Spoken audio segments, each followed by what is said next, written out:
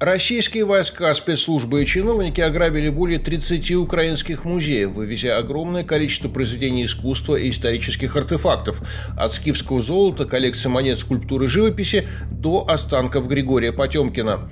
Эксперты, опрошенные газеты «Нью-Йорк Таймс», назвали действия России крупнейшим похищением произведений искусства после Второй мировой войны. При этом Россия присоединилась к международной конвенции, запрещающей подобные действия.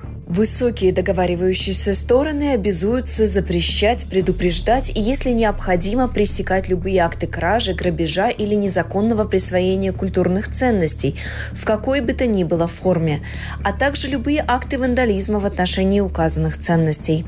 Они запрещают реквизицию движимых культурных ценностей, расположенных на территории другой высокой договаривающейся стороны. Эти действия России – возвращение к практике, которую последние 70 десятилетий международное сообщество считает считает незаконной.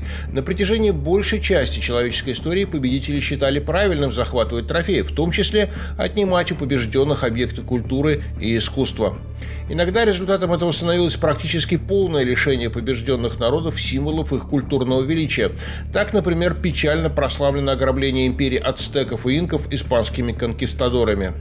Однако подобное происходило повсюду. Средневековые хронисты так описывают действия царя Ивана Грозного, применявшего военную военную силу внутри страны. Церкви и монастыри были так ограблены, что не осталось ни одной иконы ценой в пол гульдена, ни колоколов, ни церковной утвари. Сверх того, несмотря на то, что было найдено такое большое добро, били попов, игуменов и купцов по коленям, чтобы они сказали, что они имеют. Собор покровителя Венеции святого Марка украшает четверка бронзовых коней, которые, по легенде, были изготовлены великим скульптором Лисипом, выполнявшим заказы Александра Македонского. Венецианцы захватили этот шедевр после взятия Константинополя крестоносцами в 1204 году. В 1797 завоевавший Италию Наполеон вывез коней в Париж, но в 1815 году они были возвращены в Венеции после краха Наполеоновской империи. Надо сказать, что законный владелец неизвестен. До Константинополя, ныне Стамбула, кони Лисипа пребывали где-то в Греции, где были конфискованы императором Константином для украшения его столицы. Наполеон, по приказу которого кони Чипа были вывезены в Париж, целенаправленно и систематически грабил культурные сокровища. Он вывозил во Францию артефакты Египта, Италии, Испании, Германии, Австрии, России. Аналогичным образом действовали некоторые его подчиненные. Так маршал Сульт похитил в Севиле шесть больших полотен великого Мурилья. Победители Наполеона предприняли шаги, чтобы вернуть захваченные его армиями шедевры, но успехи были ограниченными. Значительная часть похищенных культурных сокровищ осталась в Лувре, и не только в Лувре. 1815 году российский император Александр I купил у наследников Жозефины Багарне 36 картин, которые Наполеон отобрал у ландграфа Касселя. Среди них было знаменитое полотно Рембранта «Снятие с креста». Александр также приобрел четыре скульптуры великого итальянского скульптора Кановы. Кассель безуспешно требовал возвращения этих сокровищ. Они по сей день находятся в Петербургском Эрмитаже. В свою очередь, из шести украденных маршалом Сультом картин Мурилья в Севилью вернулись только две. Действия Наполеона блекнут на фоне культурного грабежа Европы нацистами. Для этого была создана специальная организация, которая искала и конфисковывала сокровища музеев и частных собраний, оказавшихся под властью нацистов. Шедевры передавались либо в собственность Германии, неудачливый художник Гитлер планировал создать гигантский музей в родном городе Линц, либо попадали в частные собрания высокопоставленных нацистов. Любителями живописи были Геринг, Геббельс и Риббентроп. После окончания войны украденные попытались вернуть законовладельцам или их наследникам.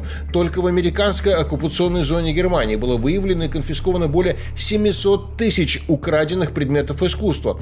Процесс их поиска и возвращения продолжается по сей день. При этом война стала причиной гибели или исчезновения множества уникальных произведений искусства. Уникальные янтарные комнаты из царского села, картины Рафаэля, Ван Гога, Рембранта, Дега, Беллини. Товарищ Жуков, злоупотребляя своим служебным положением, встал на путь мародерства, занявшись присвоением и вывозом из Германии для личных нужд большого количества различных ценностей. Жуковым было присвоено до 70 ценных золотых предметов, до 740 предметов столового серебра и серебряной посуды и сверх того еще до 30 килограммов разных серебряных изделий, до 50 дорогостоящих ковров и гобеленов, более 60 картин, представляющих большую большую художественную ценность и так далее. Показательно, что в постановлении Политбюро указано, что Жуков обязан немедленно сдать все незаконно присвоенные им драгоценности и вещи незаконным владельцам, а государству.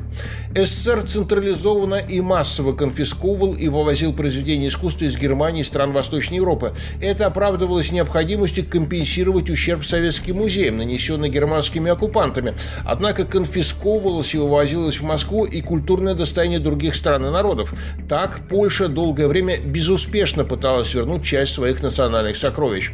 Масштабы конфискации можно оценить по одному факту. В конце 50-х годов СССР вернул ГДР 1 миллион 870 тысяч предметов музейного хранения. Это была лишь небольшая часть вывезенного. Действия России по отношению к Украине стали продолжением этой политики. Важно, что они были начаты задолго до вторжения 2022 года. Еще после незаконной аннексии Крыма Россия пыталась получить в свое распоряжение коллекцию скифского золота из крымских музеев, находившуюся на выставке за рубежом. Россия проиграла серию судебных процессов, и сокровища были возвращены Украине.